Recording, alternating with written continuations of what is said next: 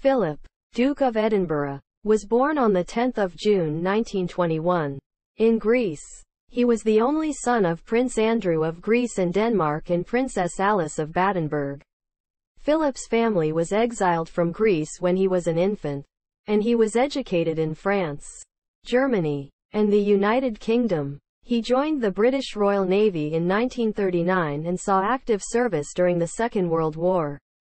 Philip married Princess Elizabeth in 1947, and they have four children.